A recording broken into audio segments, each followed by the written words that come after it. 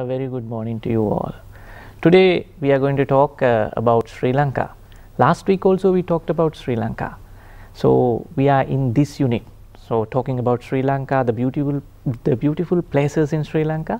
අද පුතේදුවේ අදත් අපි සාකච්ඡා කරන්න බලාපොරොත්තු වෙන්නේ පහුගිය යුනිට් එකේ uh, ගිය සතිය කතා කරපු යුනිට් එකේ තියෙන තවත් තොරතුරු කීපයක් ගැන.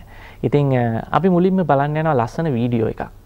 මේ වීඩියෝ එකේ ඔයගොල්ලන්ට දකින්න ලැබෙනවා uh, Uh, one of the most beautiful place in Sri Lanka. So last week also we talked about beautiful places in Sri Lanka. So why we are talking about beautiful places in Sri Lanka? ඇයි අපි ලස්සන ස්ථාන ගැන ලංකාවේ කතා කරන්නේ. එකට හේතුව තමයි අපිට uh, මේ සම්බන්ධ තොරතුරු විභාගේ රචනා ලියන්න, එතකොට ඡේද ලියන්න, uh, මේ වචන ගොඩක් අපිට වමනා වෙන හින්දා. ඉතින් අපි මුලින්ම බලමු වීඩියෝ එකක්. මේ වීඩියෝ එකේ බලන්න මේ අඳුර ගන්න පුළුවන්ද කියලා මේ තැන.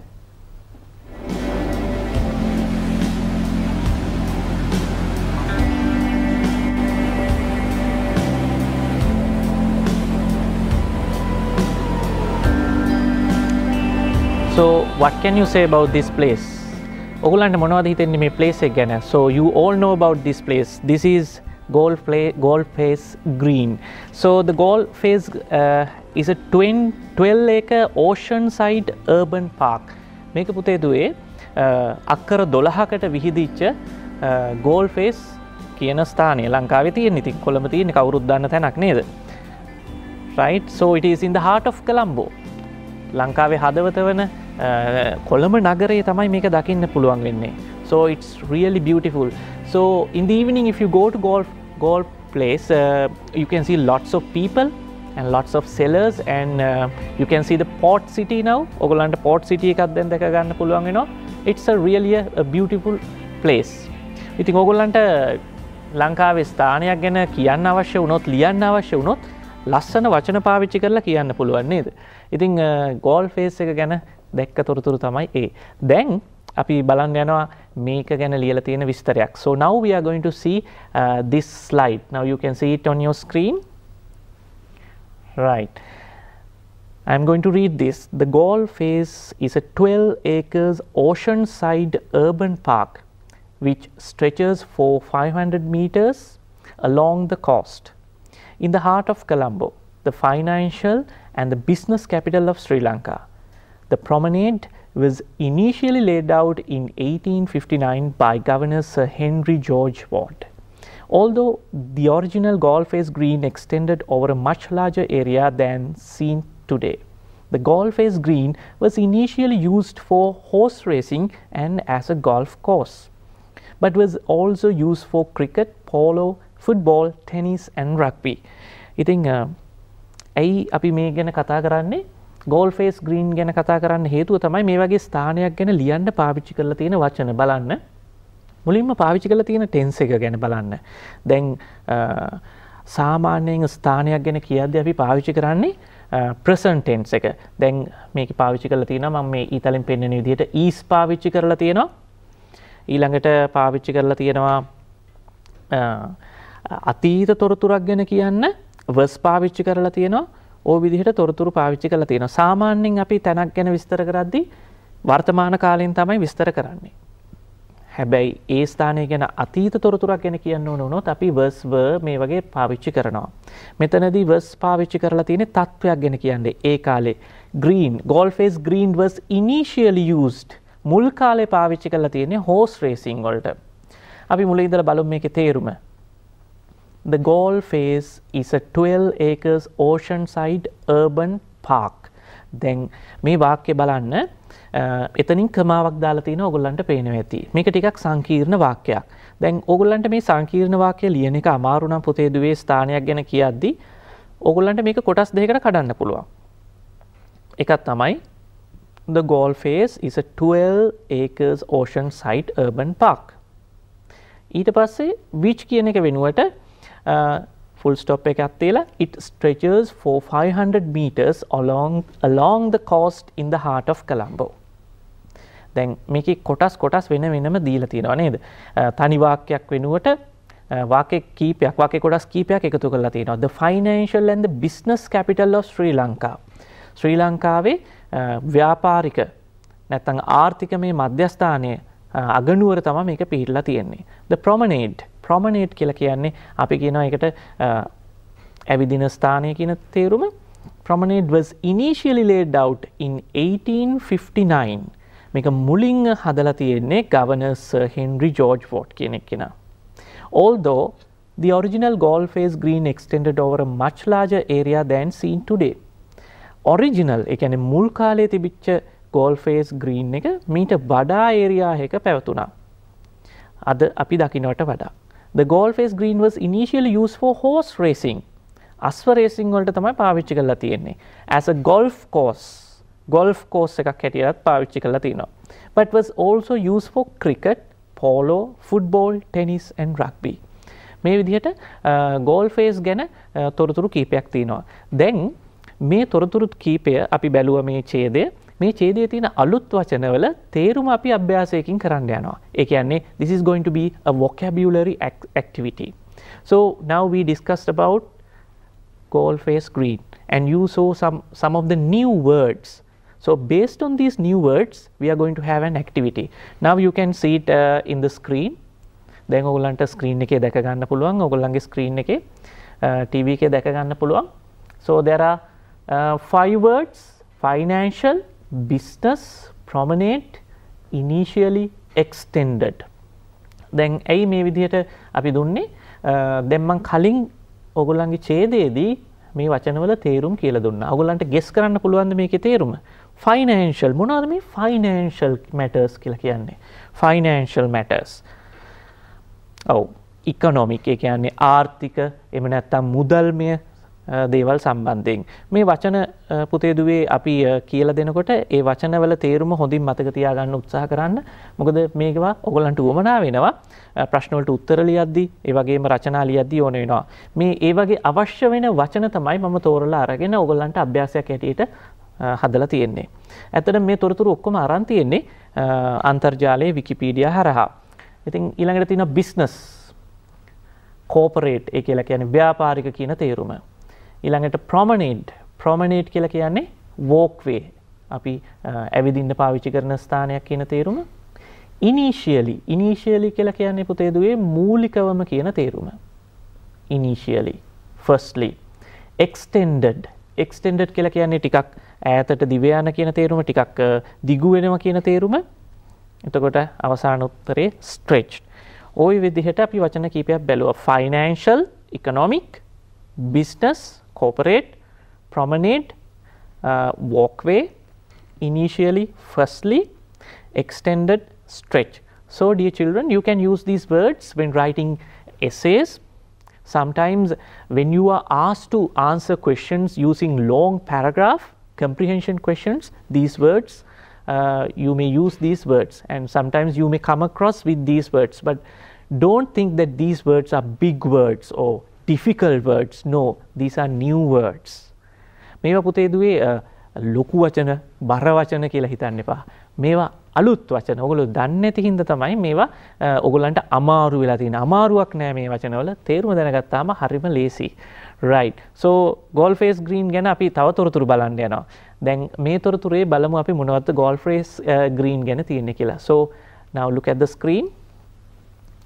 in 1856 the then governor of British Ceylon, Sir Henry George Watt, authorized the construction of a one mile promenade along the ocean side of the Gaul Face Green for ladies and children to saunter and take in the air.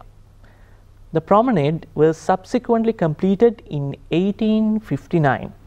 Horse racing began in Face in the early 1820s.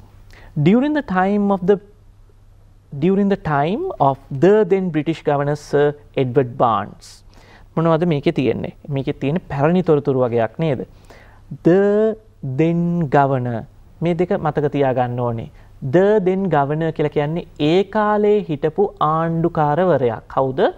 Uh, Ceylon ලංකාවේ හිටපු ආණ්ඩුකාරවරයා තමයි sir Henry George Ford එයා තමයි authorise කරේ බලය දුන්නේ කන්ස්ට්‍රක්ට් කරන්න. මේක නිර්මාණය කරන්න හදන්න of a one mile promenade. කිලෝමීටරයක් විතර ඇවිදගෙන යෑම සඳහා පුළුවන් වෙච්ච මේ මාර්ගය හදන්න ගෝල් ෆේස් එක හදන්න එයා තමයි ඕතරයිස් කරේ බලය දුන්නේ. of the goal face green. for ladies කාන්තාවන්ට සහ ළමයින්ට සෝන්ට සෝන්ට කියල කියන්නේ ඇවිදින්න ඇන්ටේකින්ද යා. හොඳ වාතාශ්‍රය ලබන්න. The promenade was subsequently completed in 1859. එද්දාස් අටසිය පනස් නමේදී පසුකාලීනව මේක සම්පූර්ණ වුණා. Horse racing began in Goldface in the early 1820s.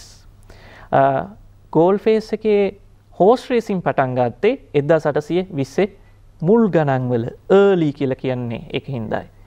During the time of the then British Governor Sir Edward Barnes මේකත් පටන් ගත්තේ Sir Edward Barnes කියන ගවන ආණ්ඩුකාරයා යටතේ. දැන් පුතේදුවේ මේ ඡේදයේ අපි බලන්න යනවා තොරතුරු කීපයක්.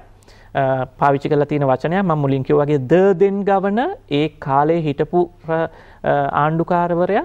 එතකොට අපිට යම්කිසි පැරණි කතාවක් කියද්දී ද දෙන් කිං ද දෙන් ප්‍රසිඩන්ට් ඒ කාලේ හිටපු රජතුමා ඒ කාලේ හිටපු ජනාධිපතිතුමා වගේ අවශ්‍ය විදිහට පාවිච්චි කරන්න පුළුවන් වෙනවා. එතකොට construction authorize promenade uh, සෝන්ට uh, මේ වගේ වචන කීපයක් තියෙනවා.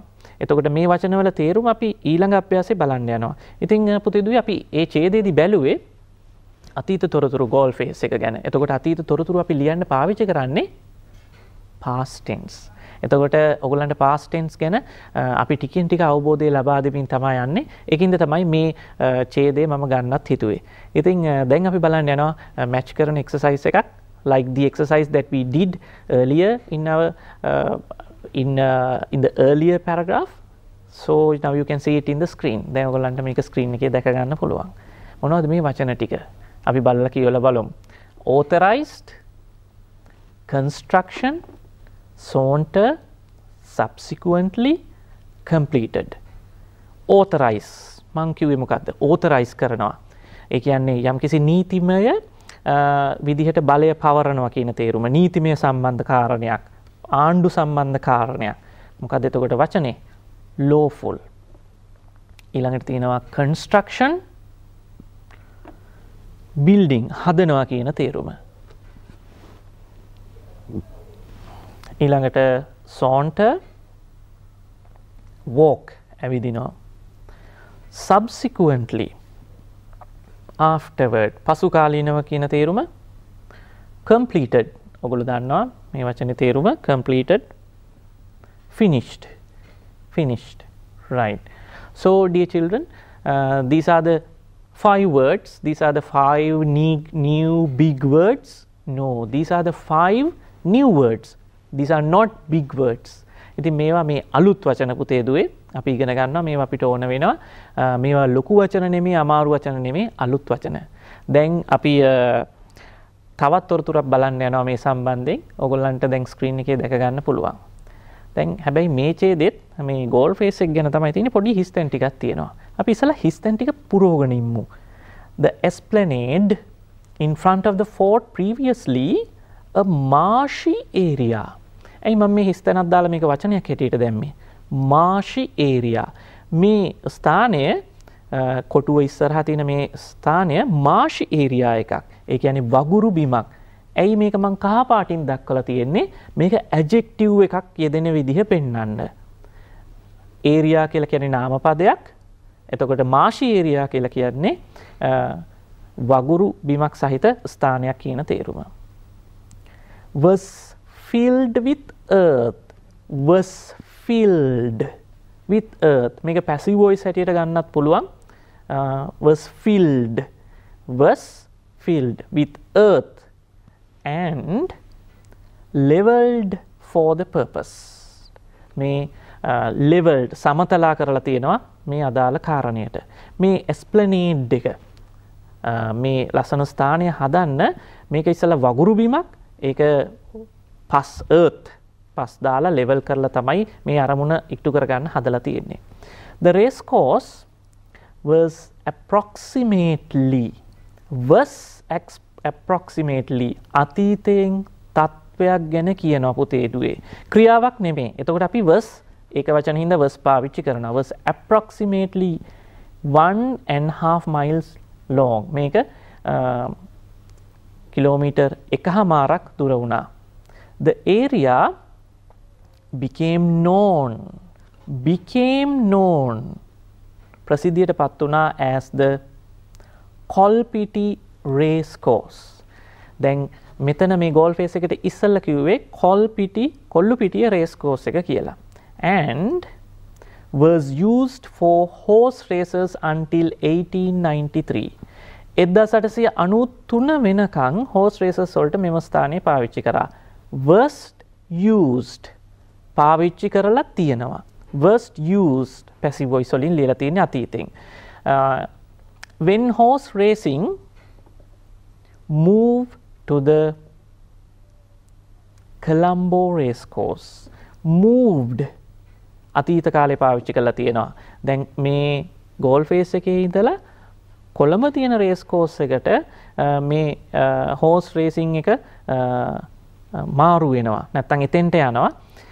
එතකොට කලම්බු රේස් කෝස් කියන එක එතරින්දි කලම්බු කියන එක ඇජෙක්ටිව් එකක් හැටියට කටයුතු වෙනවා. එතකොට පේනවාද ඔගොල්ලන්ට ඇජෙක්ටිව් එකක් පාවිච්චි කරලා තියෙන විදිහ දැන් මේ ඡේදය පාවිච්චි කරගෙන අපි කම්ප්‍රිහෙන්ෂන් questions ඒ කියන්නේ questions ටිකක් බලන්න යනවා. ඒකට උත්තර ටිකත් අපි බලන්න යනවා. Now children we are going to see some questions and answers based on this paragraph. Yes, now you can see the questions in the screen.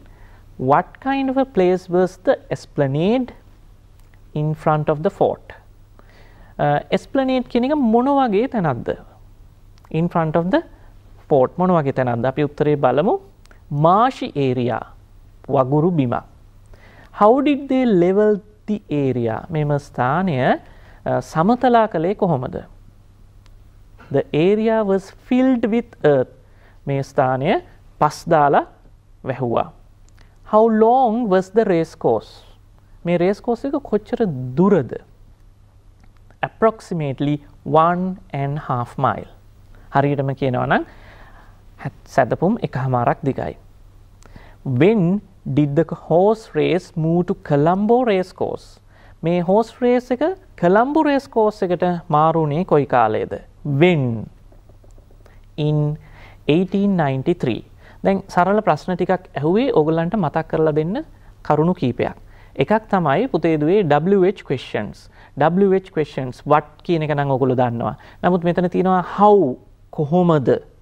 ඊළඟට how long කොච්චර දුරද? when කවද්ද දිනයක් ගැන අහද්දී. එතකොට අවුරුද්දක් ගැන කියද්දී අපි in කියන preposition එක පාවිච්චි කරන්න යනවා. දැන් ඊළඟට අපි බලන්න යන්නේ activity එකක්. මේ activity එක බලන්න අපි කොහොමද කරන්න කියලා. දැන් ඔගොල්ලන්ට ස්ක්‍රීන් එකේ දැකගන්න පුළුවන් වේ මේ ඇක්ටිවිටිය එක. Complete the conversation given below. අපි මේකේ උත්තර ටික ඉක්මනින් බලමු. Hi suresh. Hi suresh. What's the book that you have with you? This is about an assignment really දැන් පුතේදුවේ අපි මේ අභ්‍යාසයේ ආයිත් ඕගොල්ලන්ට පෙන්වන්න හිතපු කාරණය තමයි මේ වගේ අභ්‍යාස ලියන්න આવොත් පාවිච්චි කරන්න පුළුවන් ක්‍රම කීපයක් ඕගොල්ලන්ට කියලා දෙන්න. දැන් ඕගොල්ලන්ට සමහරක් වෙලාවට විභාගයේදී තියෙනවා ඩයලොග් එකක් තෝරගන්නත් එසේ එකක් තෝරගන්නත්. සමහරක් පුතාලා දූල කියන දෙයක් තමයි ඩයලොග් එක සර් හරි ලේසි. අදාළ විදිහට අපිට පුළුවන් ඩයලොග් එක බොහෝ දුරට එන්නේ ලෙටර් එකක් එක්ක. ලෙට එකට වඩා මට ඩයිලොග් එක ලියන එක ලේසි. ඒකන්ද මම ඩයිලොග් එකක් තෝරගත්තා. ඒ කියන්නේ කන්වසේෂන් එකක් තෝරගත්ත. චරිත කීපයක් දැම්ම. එකට අදාළව ඩයිලොක එක ගොඩ නැගවා එතකොට ඩයිලොගයක් ගොඩනගද්දී මතක තියාගන්න ඕන කාරණා කීපයක් තියෙනවා. එතකොට පුතේ බලන්න ඔගොල්ලන්ගේ ස්ක්‍රීන් එක හායි සුරේෂ් හායි සුදේශ් ප්‍රශ්නයට අනුව නැත්තං ආචාරයට අනුව ඒකට ප්‍රතිචාරය තියෙන්න ඕනේ. එතකොට සමහරත් දරුවෝ මේ වගේ ඩයිලොක් ලියන්න ගත්තහම කරන දෙයක් තමයි සමහර කලාට ප්‍රශ්නය අහනවා නමුත් උත්තරේ තියෙන වෙන එකක්. ඒගොල්ලු කියවල බලන්නේ ඊට ඉහලින් තියෙන්නේ මොන වගේ ප්‍රශ්නයක්ද නැත්තම් මොන වගේ ප්‍රතිචාරයක්ද මම ඊළඟ හිස්තැනට දාන්න ඕනේ කියන එක. සමහර කලාට හිස්තැන් පුරවද්දිත් හරි ලේසි දෙයක් තියෙන්නේ. උඩ තියෙනවනම් ගුඩ් මෝනින් කියලා පල්ලෙහාත් එන්න ඕනේ ගුඩ් මෝනින් කියන එක. එතකොට ඒ දේවල් මතක තියාගන්න එක වැදගත් වෙනවා සම්පූර්ණ ඩයලොග් එකට තියෙන ලකුණු ප්‍රමාණය ගන්න. දැන් උඩදී ප්‍රශ්නයක් අහනවා මෙතන what's the book that you have with you? මොකක්ද ඔයා ළඟ තියෙන පොත? This is about an assignment. මේ පොත assignment එකක් ගැන. ওই විදිහට තියෙනවා. දැන් මේක අපි අවසාන කොටසට යනවා.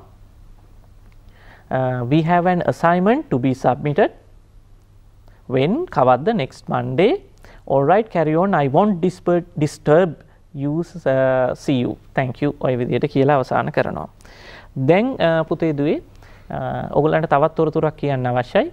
ඒක තමයි ඔගොල්ලන්ගේ වර්ක් බුක් එක ගැන. සමහරක් වෙලාවට අපේ දුවල පුතාලා මේ මග හරින දෙයක් තමයි ඔයගොල්ලන්ගේ වර්ක් බුක් එක හරි. දැන් ඒක ඕනේ නැහැ. Uh, අපිට අච්චු පොතක් තියෙනවානේ මේ අච්චු පොතේ තියෙන ඡේද ටික කිව්වොත් ඇති කියලා. but workbook plays an important role when it comes to uh, making questions, when it comes to uh, ex uh, examination questions. So there is a big connection between examination and the workbook, especially the writing activities. පුතේදුවේ මතක තියාගන්න workbook එකයි එක්සමිනේෂන් එකේ ordinary level එක්සමිනේෂන් ඒ කියන්නේ සාමාන්‍ය පෙළ විභාගේ ඉංග්‍රීසි ප්‍රශ්න පත්‍රයේ writing activities ලියන්න තියෙනේවා uh, at the same time the grammar activities එතකොට විභාගයේ තියෙනේවත් වර්ක්බුක් එකේ තියෙනේවත් අතර ලොකු සම්බන්ධතාවයක් තියෙනවා. Sometimes uh, you might be uh, searching for model papers and uh, model answers. But workbook is a good model for you to follow and for you to do. ඉතින් ඔගොල්ලෝ දන්නේ නැති වුණාට සමහරක් වෙලාවට වර්ක්බුක් එක හොඳ මොඩල් එකක් හොඳ ආදර්ශ ප්‍රශ්න අපිට සපයනවා. අපි ඒක හරියට ප්‍රැක්ටිස් වුණොත් අපිට පුළුවන් වෙනවා හොඳ උත්තර විභාගයේදී ලියන්න. දැන් මේ වර්ක්බුක් එකෙන් ගත්තු එක ඇක්ටිවිටි එකක් මතක් කරලා දෙන්න විතරක් ගත්ත මේ ඇක්ටිවිටි එක බලමු මොකද්ද මේ ඇක්ටිවිටි එක කියලා. ඔයගොල්ලන්ට දැන් ස්ක්‍රීන් එකේ දැක ගන්න පුළුවන්. right.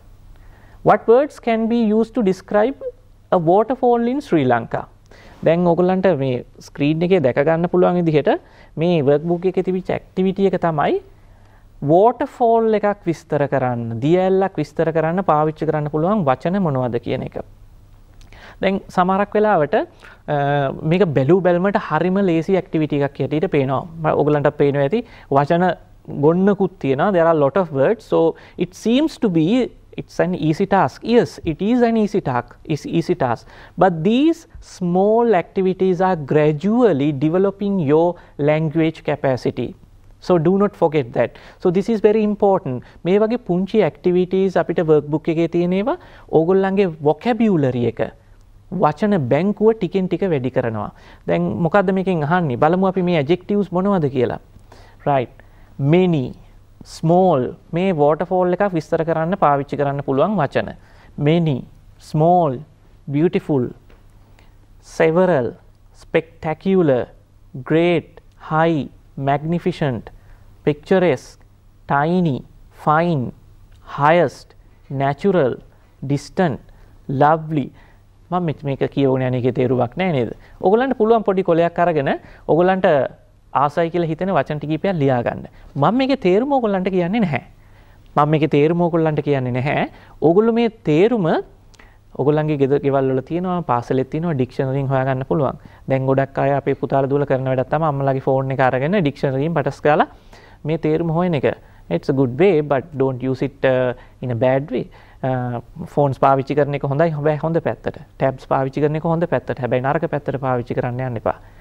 පේරන්ස්ලට පුළුවන් මේක පාලනයකින් යුතුව දරුවත් එක්ක කටයුතු කරන්න. ඉතින් මේ වචන ඔයගොල්ලන්ට පුළුවන් ලියාගන්න ලියාගෙන ඩික්ෂනරිය පෙළලා මේකේ තේරුම හොයාගන්න. තේරුම හොයලා වෝටෆෝල් එකක් විස්තර කරන්න විස්තර කළ චේදයක් ලියන්න ඊට පස්සේ ඒ චේදය දෙන්න ඔගොල්ලන්ගේ ඉංග්‍රීසි භාර ගුරුතුමියට හෝ ගුරුතුමාට එතුමා හෝ එතුමිය ඔගොල්ලන්ට ඒක නිවැරදිතාවය ගැන ඔගොල්ලන්ට කමෙන්ට් එකක් දෙයි. So spectacular, beautiful, magnificent, picturesque, tiny, fine, highest, natural, distant, lovely, white, past, famous, impressive, uh, innumerable, pretty, countless, scenic, mighty, nearby, largest, splendid, wonderful, ඔය විදිහට ගොඩක් තියෙනවා නේද? Uh, ග්‍රෑන්ඩ් ඔය විදිහට තවත් තියෙනවා. ඊළඟට අපි ඊළඟ කොටසටත් යමු. Near foot steep steep steep කියලා කියන්නේ නම් දැඩි බෑවුම් කියන තේරුම breath taking ඒ වචනේ ලියා ගන්න breath taking attractive silvery unseen gigantic thunderous tremendous abundant celebrated occasional wild sacred tall cool made stunning noisy crystal amazing charming brown rocky impassable gorgeous. ඔය විදිහට තියෙනවා.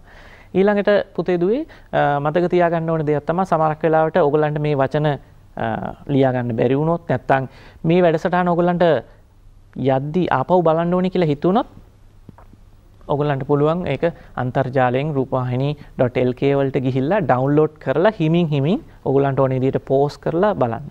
ඊට පස්සේ ඔගලන්ට පුළුවන් අපිට මේ සම්බන්ධයෙන් අපේ ಗುಣදොස් කියලා අපිට ලියුම් එවන්නත් පුළුවන්. ඉතින් ඉදිරියේදී අපි බලාපොරොත්තු වෙනවා ඔයගොල්ලන්ගෙන් ඒ වගේ ඔයගොල්ලන්ගේ අවශ්‍යතාවයන් ගැන ලියයි කියලා. දැන් අපි බලන්න යනවා workbook එකේ තියෙන තවත් activity එකක්.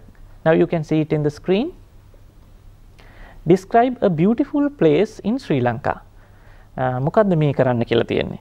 ශ්‍රී ලංකාවේ තියෙන ලස්සන ස්ථානයක් ගැන විස්තර කරන්න කියලා තියෙනවා. හැබැයි ස්තැන් ගොඩක් තියෙන්නේ නේද? ඔව්. අපි ඒක විස්තර කරන්න යන්නේ නැහැ.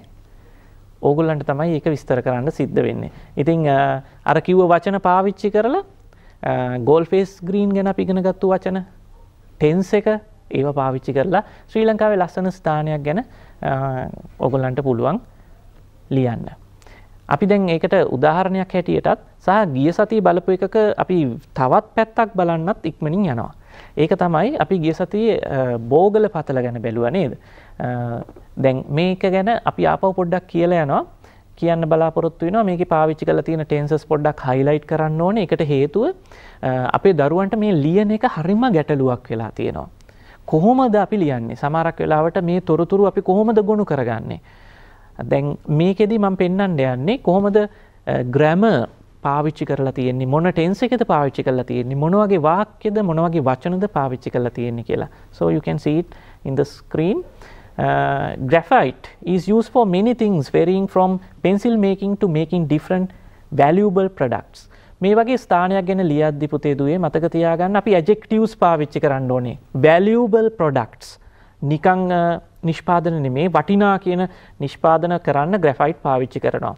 Natural graphite, ස්වභාවික graphite is mostly consumed for refractories, steel making, expanded graphite, uh, brake lining, foundry, facing and uh, lubricants ඔය විදිහට තියෙනවා. පෝගල graphite mines are situated in Galigamuwa, Sri Lanka. Situated are situated මේ පතල් පිහිටලා තියෙන්නේ ගල්ලිගමුව ශ්‍රී ලංකාවේ. ওই විදිහට තියෙනවා තොරතුරු ලියලා. ඊළඟට අපි බලන්න යනවා මේ ඡේදයේ ඉතුරු කොටස. Tons and tons of graphite are mined annually and the lots are sent to Japan. මේ විදිහට ජපානයට යවනවා කියලා තියෙනවා. යුරෝපයට යවනවා කියලා තියෙනවා. බලන්න ආපහු present tense තමයි පාවිච්චි වෙලා තියෙන්නේ. ආ පාවිච්චි කරලා තියෙනවා, is පාවිච්චි කරලා තියෙනවා, present tense පාවිච්චි කරලා තියෙනවා. The mine is a kilometer at its deepest point, people with different interests reach Bogala. Some visit for educational purposes, some as an adventurous activity, and some merely to engage in photography. The visitors are advised to wear protective gear such as hard hats and steel toed boots. දැන් පුතේ දුවේ දැන් මේක මේක කියවන එකේ තේරුමක් නැහැ. ඇයි? ඔගොල්ලෝ බලන්න ඇති මොකටද නේද කියලා. දැන් මේ පොත ගන්න වර්ක් බුක් එක ඔයගොල්ලන්ගේ ගන්න. අරගෙන කරන්න පුළුවන් තවත් දෙයක් තමයි රයිටිං ඉම්ප්‍රූව් වෙන්න. මේ වාක්‍ය වෙන වෙනම අරගෙන ලියන්න. අරගෙන ලියලා ඒකේ සබ්ජෙක්ට් එක රවුම් කරන්න. දැන් අපි මේකේ මම ඒ විදිහට කරලා පෙන්නන්නම් කියන්නම් ඔගොල්ලෝ අහගෙන ඉන්න හොඳට. අපි එක වාක්‍යයක් ගමු. කොයි වාක්‍යද ගන්නෙ? අපි ගම්මු the visitors ආ කියන වාක්‍යය. දැන් මම ඒක රවුම් කරනවා මේ කර්සර් එකෙන්. The visitors are advised to wear protective gear such as hard hats and steel toed boots. දැන් මේකේ කවුද සබ්ජෙක්ට් එක? ඔව් මට ඇහෙනවා කියනවා. The visitors ඒක තමයි සබ්ජෙක්ට් එක. ක්‍රියාව තමයි are advised to wear protective glass such as gear and hard hats and steel-toed boots. ඔය කොටස් ටික අපි ඔබ්ජෙක්ට් එක හැටියට ගන්නවා. එතකොට මේ විදිහට වාක්‍ය ලියලා ඔගොල්ලන්ට පුළුවන් කරන්න පුළුවන් මොකද්ද? ඔගොල්ලන්ට පුළුවන් මේ වාක්‍ය ටෙන්ස් එක හොයන්න පුළුවන්. කතෘට අනුව ක්‍රියාව යෙදිලා තියෙන්නේ කොහොමද කියන එක තේරුම් ගන්න පුළුවන්. ඒ විදිහට වාක්‍ය ගොන්නක් ලිව්වට පස්සේ ඔගොල්ලන්ට ඒ වාක්‍ය හැදිලා තියෙන විදිහ ලේසියෙන් තේරුම් ගන්න පුළුවන් වෙනවා. ඉතින් මේ විදිහට ඔගොල්ලන්ට පුළුවන් වෙයි ලස්සනට මේක තේරුම් ගන්න. අපි බලමු ඊළඟට ස්ලයිඩ් එකේ මොනවද තියෙන්නේ කියලා. මොනවද මේ තියෙන්නේ? Write 10 adjectives that would describe Sri Lanka better. ලංකාව ගැන විස්තර කරන්න මේකත් uh, වර්ක්බුක් ඇක්ටිවිටිය එකක් uh, ඇජෙක්ටවස් ඇජෙක්ටවස් දහයක් පාවිච්චි කරන්න කියලා තියෙනවා බල මොනවද පාවිච්චි කළ තියෙන ඇජෙක්ටවස් කියලා beautiful bustling famous fascinating lively picturesque polluted ancient natural underdeveloped right මේක ගැනෙත් මම තේරුමක් කියන්න පුතේ දුවේ මේ ඇජෙක්ටවස් ලියා ගන්න ඕගොල්ලෝ. ලියාගෙන අධ්‍යයනය කරන්න. අධ්‍යයනය කරලා විතරක් මදි. ඒවා ප්‍රැක්ටිකලි යූස් කරන්න. කොහොමද යූස් කරන්නේ? වාක්‍ය ලියන්න. beautiful කියන එක දාලා වාක්‍යයක් ලියන්න වැරදියට හරි ලියන්න. picturesque, polluted, ancient, natural, underdeveloped ඉස්සලා තේරුම හොයන්න. දැන් පුතේ දුවේ මේවා තේරුමත් අපි දුන්නොත් ඕගොල්ලන්ට ඕනවට වඩා මේක ලේසි වෙන්න යනවා.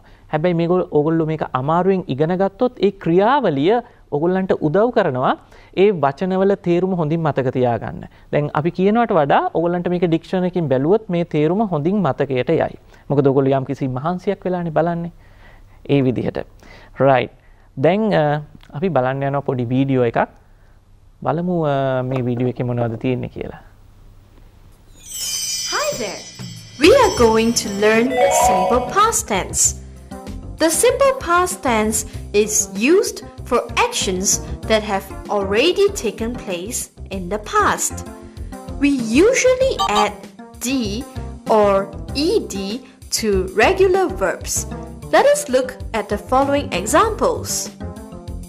Examples of regular verbs in simple past tense that are formed by adding d or ed. He talked loudly in class last week. Talk, talked. She combed her hair just now. Comb, combed. They watched the movie last night. Watch, watched. However, some verbs are irregular. Their simple past tense is not formed by adding d or ed. Let us look at the following examples. Examples of irregular verbs which are not formed by adding d or ed. Jenny ate an orange just now. Eat, ate. This morning I drank a glass of orange juice. Drink, drank. My mother gave. 本題 අපි වැලිය simple past tense ගැන පොඩි video එකක් නේද? කොහොමද simple past tense හදන්න කියලා? දැන් ඔගලන්ට screen එකේ දැකගන්න පුළුවන් වෙනවා. ඒකෙන් තියෙන පොඩි ඇක්ටිවිටිය එකක්. මේක තමයි අපි වීඩියෝ එකකින් ඉගෙන ගත්තේ. දැන් බලන්න ඔයගොල්ලන්ගේ ස්ක්‍රීන් එක. Right. He loudly in the class last week. He talked regular verb එකක් පාවිච්චි කරලා තියෙන්නේ. ඇයි රෙගියුලර් කියන්නේ අර අපි වීඩියෝ එකේ බැලුවා වගේ ed එකතු කරලා තමයි මේ ක්‍රියාව අතීතයට හරවලා තියෙන්නේ. she combed her hair just now. එයා දැන් එයාගේ hair එහෙම නැත්නම් කොණ්ඩේ පීරුව කියන තේරුම. ඒකත් regular verb එකක්. They watched ED movie last night. ඊයේ රෑ චිත්‍රපටියක් බැලුවා. Jenny ate an orange.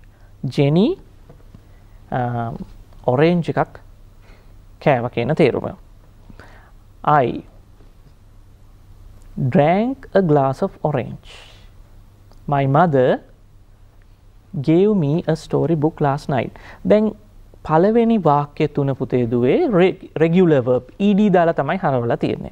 එතකොට ඉතුරු වාක්‍ය තුන irregular verb ඒ කියන්නේ ප්‍රසන්ටෙන්ස් ක්‍රියාපදයට විරුද්ධව නැත්තං ඒට වඩා හාත් පසිම වෙනස් වචනයක් තමයි ඇවිල තියෙන්නේ. ඊට වෙනුවට ඒත් ඩ්‍රිංක් වෙනුවට ඩ්‍රෑන් ගිව් වෙනුවට ගේව් තියෙනවා. ඔය විදිහට තියෙනවා. දැන් අපි බලන්න යනවා මිස්ට බීන්ගේ වීඩියෝ එකක්. අපි මිට බීන්ගේ වීඩියෝ එක බලන්න කලින් අපි ඒකට අදාළ තියෙන වාක්‍ය ටික බල්ලෙමු ඊට පස්සේ බලමු මේ වීඩියෝ එකේ තියෙන වාක්‍ය ටික කොහොමද අපිට අදාළ කරගන්න පුළුවන් කියලා. Mr. Bean. Mr. Bean couldn't sleep. Mr. Beanට නිදිය ගන්න බැරි වුණා. He got an idea. එයාට අදහසක් ආවා. past tense. අතීතයෙන් තමයි මේ කියන්නේ ඔක්කොම. He called a taxi. එයා ටැක්සි එකට කතා කරා. He මොකද කරේ? Carried the guest bag. එයා අමුත්තගේ බෑග් එක රැගෙන ගියා. He put them into the taxi. එයා එක ටැක්සි එකට දැම්මා. The guest heard the bell and started sleepwalking. ගෙස්ට ඇහුණා මේ අමුත්තට ඇහුණා සද්දේ මොන සද්දෙද බෙල් එකේ සද්දය ඇහුණා එයා ස්ලීප් වෝකින් නින්දෙන් ඇවිදින්න පටන් ගත්තා. ඊළඟට he followed the smell of the turkey කලුකුම් එහෙම නැත්තං මේ මස්වල සුවඳ එයාට ආව නැත්තං ඒක ෆලෝ කරගෙන ගියා. ඊළඟට මොකද වුණේ? he went downstairs. එයා පල්ලෙහාට ගියා. Mr. Bean pulled the turkey into the car. Car එකට මේ ටර්කි නැත්තම් කළු කුමාව දැම්මා. Mr. Bean took the turkey and went around the car. Turkey අරගෙන කාර් එක වටේට ගියා. මේ හැම එකම පුතේ දුවේ අපි නිකන් ලියනවා නෙමෙයි past tense වලින් කොහොමද ලියන්නේ කියන එක තමයි මේ අපි කියලා දෙන්න උත්සාහ කරන්නේ. He shut the door. Next, he told the driver to drive away. Mr. Bean waved goodbye. Mr. Bean uh, අත වැනුව goodbye කියලා. දැන් අපි මේ වාක්‍ය ටික තියෙන වීඩියෝ එක දැන් අපි බලන්න යනවා. බලන්න uh, කොහොමද මේ වෙච්ච සිද්ධිය වාක්‍ය වලට පරිවර්තනය කරලා තියෙන්නේ කියලා. දැන් අපි එහෙනම් Mr. Bean past tense වලින් කරපු මේ වීඩියෝ එක බලලා ඉමු.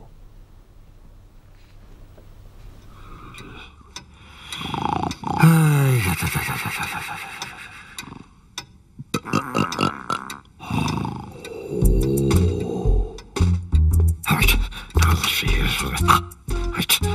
Taxi now. Right. All right. Where to? Just two minutes. Just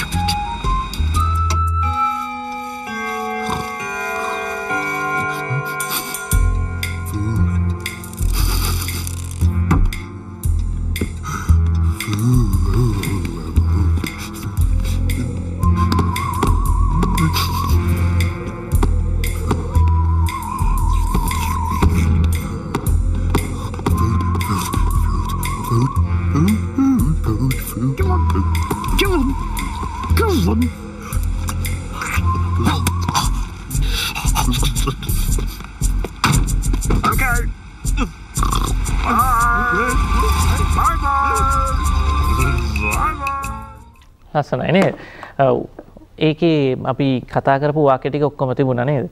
ඔයගලන්ට දැක ගන්න පුළුවන් වෙන්නේ නැහැ. right. දැන් පුතේ දුවේ අපි බලන්න යන්නේ අපේ අන්තිම සෙග්මන්ට් එක මොකක්ද අපේ අන්තිම සෙග්මන්ට් එක. So we are going to see how to write essays. Uh, රචනා ලියන්න. So I think uh, now it's high time for you to start writing good essays, essays because this is the third term. So now you have to get ready with your writings. දැන් ඇත්තටම uh, දෙවනි term එක ඔයගොල්ලන්ගේ පටන් ගන්නෙ තුන්වෙනි term එක නෙමෙයි දෙවෙනි ටර්ම් එක පටන් ගන්නෙ දැන් රචනා ලියන්න පටන් ගන්න ඕනේ. දැන් රචනා ලියන්න කලින් මෙන්න මේ තොරතුරු ටික ඔයගොල්ලෝ දැනගත්තොත් ඔයගොල්ලන්ට වැඩි හොඳින් ලකුණු ගන්න පුළුවන් වෙන විදිහ දැනගන්න පුළුවන් වෙයි. බලමු ඔයගොල්ලන්ගේ ස්ක්‍රීන් එකේ මොකද්ද තියෙන්නේ. How to score in an essay. රචනාවකින් කොහොමද අපි ලකුණු ගන්නෙ? content එක language එක organization mechanics of writing. මේ තොරතුරුවලට කොහොමද ලකුණු බෙදෙන්නේ? මොනවද මේ තොරතුරු? දැන් කන්ටෙන්ට් එක කියලා කියන්නේ ප්‍රශ්නේ අහන සියලුම තොරතුරු. ඒකට අදාළ වෙන්න යනවා සමහරක් වෙලාවට බුලට් ෆෝම් එකකින් අදාළ අහලා තියෙන තොරතුරු. එහෙම නැත්නම් ප්‍රශ්නේ ප්‍රධාන තොරතුරු. දැන් එන්වයරන්මන්ටල් පොලියුෂන් කියන එක මම හැම වෙලාවෙම ගන්නවා. හරි ලේසි එක කියලා දෙන්න. එන්වයරන්මන්ටල් පොලියුෂන් ගැන ගත්තොත් එයා පොලියුෂන් වෝටර් පොලියුෂන් ගැන ලියන්න කියලා තියෙන තොරතුරු ටික ඔයගොල්ලෝ ඇතුළත් කරොත් ඒකට කන්ටෙන්ට් එකට හිමි ලකුණු ටික හම්බ වෙනවා. ඊළඟට ලැංග්වේජ් කියලා කියන්නේ මොකද්ද? ග්‍රැමර් ඒකටත් අනිවාර්යෙන් ඔගොල්ලෝ අවධානය දෙන්න ඕනේ. ඕගනයිසේෂන් සංවිධානය. ඊළඟට මෙකනික්ස් of writing. මෙකනික්ස් of writing වලටත් ලකුණු තුනක් හම්බ වෙනවා. සමහරක් වෙලාවට ඔයගොල්ලෝ හිතන්නේ නැහැ මේකට ලකුණු එතරම් හම්බ වෙනවා කියලා කියලා. මේ කමා දාන එකට ෆුල් ස්ටොප් තියෙන එකට මේවටත් ලකුණු හම්බ වෙනවා. ඕගනයිසේෂන් වලටත් ලකුණු සංවිධානය කරලා තිබුණොත් තොරතුරු හරියට ගොනු කරලා තිබුණොත් ලකුණු දෙකක් හම්බෙන්න යනවා ඉතින් පුතේ දුවේ සමහරක් වෙලාවට ඔයගොල්ලෝ රචනා එක දිගට ලියාගෙන යනවා ඒක සිස්ටමැටික් නැහැ සිස්ටමැටික් නැහැ කියලා කියන්නේ ඔගොල්ලෝ ඒක හරියට සැලසුම් කරලා නැහැ you have to plan the essay properly. Then only you can impress the examiner. The examiner, uh, if you are writing without a plan, then the ideas might come in here and there, so it is going to be a mess. So without uh, Uh, without making your essay a mess, you can plan the essay and write the essay. But you won't get time during the exam. So when you are doing the exam you don't get lot of time to plan an essay. So in in advance you have to practice how to plan an essay. So ඒ කියන්නේ exam එකට ගිහිල්ලා ඔයගොල්ලන්ට අවස්ථාවක් හම්බෙන්නේ නැහැ ඇත්තටම එසේ එකක් මේ ප්ලෑන් කර කර සැලසුම් කර කර ලියන්න. හැබැයි ඕගොල්ලෝ මේ සැලසුම් කරන දේ කලින් ප්‍රක්ටිස් කරලා පුහුණු කරලා තියෙනවා නම් ඕගොල්ලන්ට හොඳට පුළුවන් වෙන්න යනවා එතන ගියාට පස්සේ විභාගයට ඉඳගත්තට පස්සේ කෙටි කාලයකින් එසේ එක ප්ලෑන් කරන්න. සමහරක් වෙලාවට ඔගොල්ලෝ කරන දෙයක් තමයි මේ මේක අවශ්‍ය නැහැ. මේ අපිට මේක ප්ලෑන් කරන්න ඕනේ නෑ. ඕක හිතිච්ච හිතිච්ච වෙලාවට එහෙම එහෙම ලියනවා කියන එක. ඔව් ඒක එහෙම කරන්නත් පුළුවන්. but you are going to cost you are going to have a punishment for that. ඔගොල්ලන්ට ඒකට දඬුවමක් හම්බෙන්න වෙනවා. මොකද්ද දඬුවම? ඒක තමා සමහරක් වෙලාවට ඒකක් ගන්න පුළුවන් එක්කෙනාට හම්බෙන්නේ B එකක්. B එකක් ගන්න පුළුවන් එක්කෙනාට හම්බෙන්නේ C එකක්. මේ ප්ලෑනින් නැති හින්දා. ඉතින් පුතේ දුවේ සමහරක් වෙලාවට දැන් ඕගොල්ලෝ හරි කාලසටහනක් හදාගෙන ඉංග්‍රීසි වලට රයිටිං පැත්ත හදාගත්තොත් මේ විදිහට මං ස්ක්‍රීන් එකේ පෙන්නපු තොරතුරු වලට අවධානය දීලා ග්‍රැමර් ග්‍රැමර් වෙනවම එතකොට ඕගනයිසේෂන් ප්ලෑනින් මේ ටික හරියට හදාගත්තොත් ඔයගොල්ලන්ට මේ අමතර ලකුණු ප්‍රමාණය සැලසුම් කරගන්න පුළුවන් වෙයි. අපි දැන් රචනාවක් බලන්න යනවා සරලව ලියලා තියෙන රචනාවක් මේ රචනාවෙන් අපි අද ප්‍රෝග්‍රෑම් එක අවසන් කරන්න බලාපොරොත්තු වෙනවා. අපි බලමු මොකද්ද මේ රචනාව කියලා. හොබි එක ගැන කියලා තියෙන්නේ. දැන් ඔයගොල්ලන්ට ස්ක්‍රීන් එක තියෙන්න යනවා මේ ඉන්ට්‍රෝ එක ආරම්භ කරන හැටි my hobby is reading i read storybooks magazines newspapers uh, one thing you should remember is that uh, if you write an essay in a simple manner sometimes you may feel that you won't get marks but if you have written it grammatic if you have written grammatically correct sentences you will be given marks. සමහර කලාවට සරලව ලිව්වහම ඕගොල්ලන්ට ලකුණු හම්බෙන එකක් නැහැ කියලා හිතනවා ඇති. නමුත් ව්‍යාකරණ කූලව ස්පෙලිං වරද්දන්නේ නැතුව ඕගොල්ලෝ යම්කිසි වාක්‍යයක් තොරතුරක් ඉදිරිපත් කරොත් ඒකට ලකුණු හම්බ වෙනවා. මේක හරි සරලයි. This hobby got started when I was a little boy. I had always wanted my parents to read fairy tales and other stories to me. So as soon as I could, I learned to read. I started with simple ABC books. Soon I could read simple fairy tales and other stories. Now I read just about anything that is available. Now see how I have uh, uh, organized this essay. මේ එසේ එකේ මේ පළවෙනි paragraph එකේ තොරතුරු සංවිධානය කරලා තියෙන හැටි බලන්න. කියවගෙන යනකොට සිම්පල් තොරතුරේ ඉඳලා සරල තොරතුරේ ඉඳලා ටිකක් සංකීර්ණ තොරතුරු දක්වා ගිහිල්ලා තියෙනවා. මම පුංචි කතන්දර පොත් තම මුලින්ම කියවන්න පටන් ගත්තේ ඊට පස්සේ මැගසින් නිවස් පේපර්ස් එක පටන් ගත්තේ මම පොඩි පිරිමි ළමෙක්ව ඉඳද්දි and always wanted my parents to read fairy tales. ඉතින් ඒ කාලේ fairy tales සුරංගනා කතා කියවන්න අවශ්‍ය වුණා. Soon as I could I learned to read. මම ලොකු වෙනකොට පොඩි පොඩි පොත් කියවන්න පටන් ගත්තා. කලින් කියවු අම්මලා. Soon I could read simple fairy tales.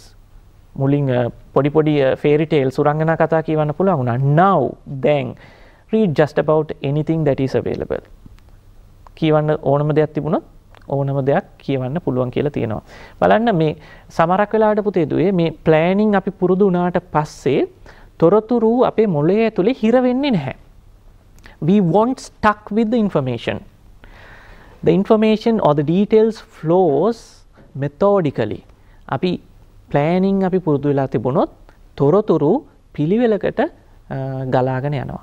එහෙම ගලාගෙන ගිහාම කියවන කෙනාටත් හරි පහසුයි ඒක කියවන්න. දැන් අපි බලන්න යනවා මේකේ ඊළඟ පැරග්‍රාෆ් එකේ මොනවද තියෙන්නේ කියලා. Paragraph 1. right. Reading enables me to learn about so many things. I learned about how people lived in bygone days. I learned about the wonders of the world, space travel, human achievements, gigantic whales, tiny viruses, and other fascinating things of our world. මොනවද මේ දෙවැනි පළවෙනි paragraph එකේ කියන්නේ intro paragraph එකට පස්සේ? මොනවද තියෙන්නේ? කියවීම මට හැකි කරවලා තියෙනවා. Learn so many things. ගොඩක් දේවල් ඉගෙන ගැනීමට හැකි වෙලා තියෙනවා. I learned about how uh, people lived in uh, bygone days. I learned about the wonders of the world, space travel, human achievements, uh, මිනිස්සු ඉතින් ළඟා කරගත්තු දේවල් මේ දේවල් මං ඉගෙන ගත්නවා කියලා තියෙනවා පොතෙන්. ඊට පස්සේ paragraph 2 එක The wonderful thing about reading is that I do not have to learn things the hard way. කියවීමේ තියෙන හරි ලස්සන දේ තමයි අමාරු දේ විදිහට මට දේවල් ලිය ගන්න ඉගෙන ගන්න අවශ්‍ය වෙන්නේ නැහැ. For example, I do not have to catch a disease to know that it killed me. මට ලෙඩ රෝගයක් වැළඳෙන්නම අවශ්‍ය නැහැ. ඒ යම්කිසි විස බීජයකින් කෙනෙක් මැරෙනවා කියලා දැනගන්න. I know the danger so I can avoid it. මට ඒකෙන් පුළුවන් මේ භයානක දේවල් වලින් මග හරින්න. Also I do not have to go deep into the jungle to learn about tiger. කැලේ ඇතුළටම යන්න සිද්ධ වෙන්නේ නැහැ මට ටයිගර් කෙනෙක් දැනගන්න. I can read all about it in a book. මට පොතකින් මේ හැම දෙයක්ම කියවන්න පුළුවන් කියලා තියෙනවා. Now we are going to the conclusion. Books provide the reader with so much information and facts. තොරතුරු ගොඩක් uh, පොතකින් කියවන්නට ලබා දෙනවා. They have certainly helped me in my daily life. මගේ uh, එදිනෙදා ජීවිතයට ගොඩක් උදව් වෙලා තියෙනවා. I am better equipped to cope with living. Uh, ජීවත් වෙන්න හොඳින් මම සන්නන්ද වෙලා තියෙනවා මේ කියවීම නිසා. ඉතින් පුතේදුවේ අද අපි සාකච්ඡා කළා ග්‍රේට් ලංකා නැත්තං අපි අච්චුපොතේ තියෙන යුනිට් එකක් ලංකාව ගැන තියෙන යුනිට් එකත් අපි එකින් අද ඉගෙන ගත්තා පාස්ටෙන්ස් මිට. බීන් හරා පාස්ටෙන්ස් අපි ඉගෙන ගත්තා තොට ඇජෙක්ටවස් කොහොමද වාක්‍යවල පාවිච්චි කරන්න කියලා ඉගෙන ගත්තා. එතකොට ස්ථානයක් ගැන විස්තර කරද අපි පාවිච්චි කරන්න ඕනේ ටෙන්සස් මොනවද කියලා ඉගෙන ගත්තා. මේ තොරතුරු ගොඩාක් වැදගත් තොරතුරු. ඉතින් තව දෙයක් තමයි. මොනවගේ ප්‍රක්ටිසර්ස්ද මොනවගේ අභ්‍යාසද අපි කරන්න ඕනේ මේ කාලේ දැන් අපි දෙවනි වාරයේ ඉන්නේ. රචනා ලියන්න ඕනේ. වාක්‍ය කොහොමද හැදිලා තියෙන්නේ කියන එක ඉගෙන ගන්න ඕනේ. මේවා අපිට රයිටිං වලට ගොඩක් උපකාර වෙනවා. ඉතින් ලබන සතියේත් අපි බලාපොරොත්තු වෙනවා මේ වගේ ලස්සන වැඩසටහනකින් ඕගොල්ලන්ව හම්බ වෙන්න.